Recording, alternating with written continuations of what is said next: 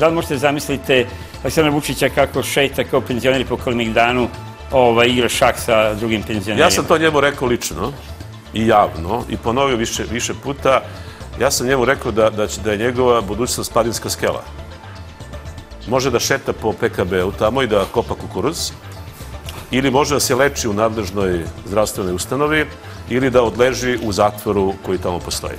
Znači, ja Vučića zamislim kako šeta po padinskoj skeli. U krug ili na neki drugi način, neka izabere sam.